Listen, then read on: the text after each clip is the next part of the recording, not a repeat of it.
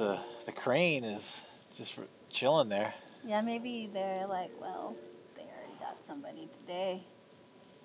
It's like that nature thing, like, oh, they, they're not gonna kill more than one of us today.